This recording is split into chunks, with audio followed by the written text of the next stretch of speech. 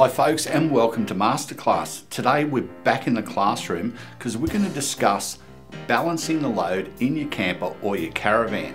On social media we're seeing week in week out caravan accidents, cars and caravans upside down on the highway. Often this can be caused by incorrect loading in your caravan. If you don't load it properly you can create handling problems, pendulum effects, cause them to sway and upset the balance of the whole rig. So we're going to have a look at how we can minimise that sort of effect today. Some of the terminology that you're going to see when talking about this are things like tare weight.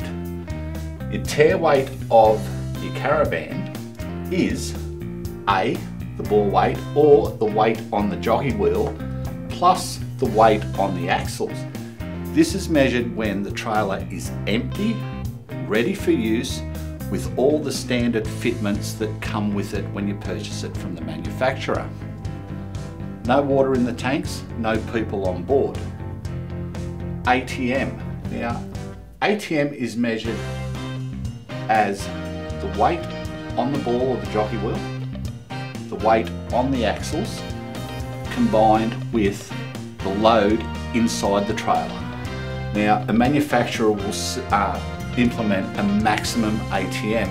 You'll find that on your compliance plate, so be sure you know what that is. Ball weight. Now, ball weight is the download on your tow bar from the drawbar. No jockey wheel down, that is just the dead weight on the tow bar. GTM is the axle load plus cargo. It doesn't factor in the tow ball weight, and GCM is your gross combined mass. That is the weight of your vehicle and the entire weight of the caravan and the ball weight as a combination. Now there's a basic rule of thumb with handling of trailers.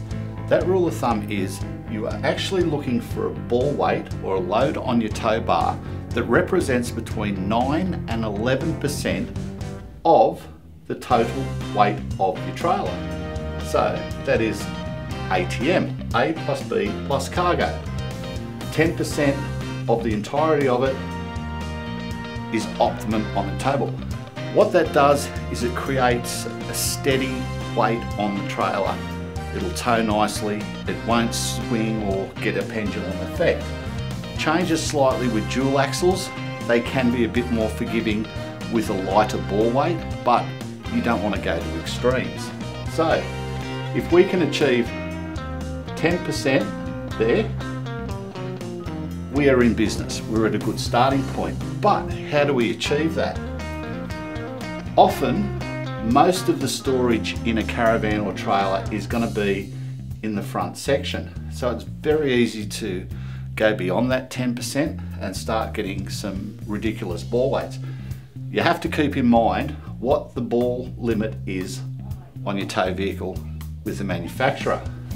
Now, if we're starting to get a bit heavy, what we want to do then is load the weight above the axles. Get as much weight as we can above the axles while still achieving 10% on the tow bar. What you don't want to do is start loading too much weight at the back of the caravan what happens then is if you're loading at the back of the caravan, gonna create a pendulum effect.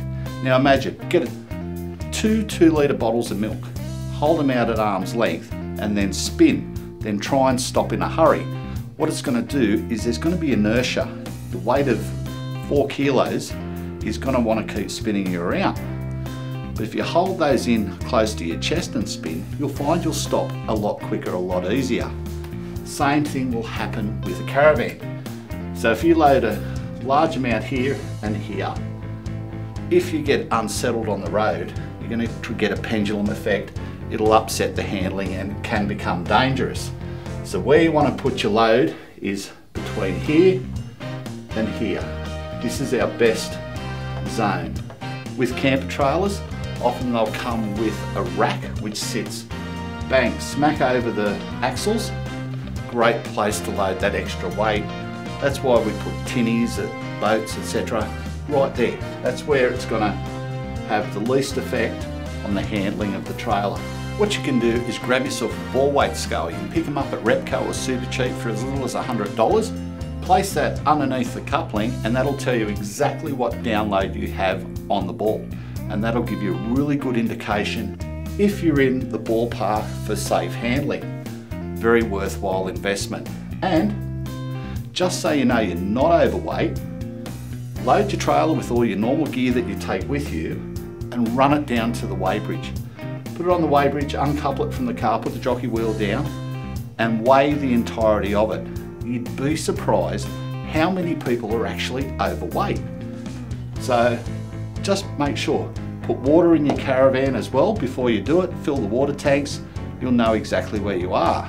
Now, talking about water tanks, often caravans will have water tanks fore and aft of the axles. Now, if you're having a bit of trouble juggling the weight, what you can actually do is manipulate the weight by filling or not quite filling the front and rear water tanks. Now, if you're a bit light on ball weight and you want a bit more weight at the front, you fill the front one, put less in the back one, and vice versa. But remember, the more weight you add at the back, the more you can increase the pendulum weight.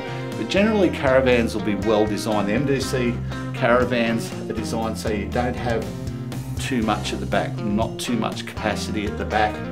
They're a very well balanced item, but it's something you can keep in mind to assist in getting the handling right. And if you've got a grey water tank, think about where that's fitted. We go camping, we're out in the bush for a couple of weeks, we've emptied either or both tanks, We've filled the grey water tank. We've shifted the weight around on the camper or the caravan. Keep that in mind and make any adjustments necessary to keep the handling good on your trailer.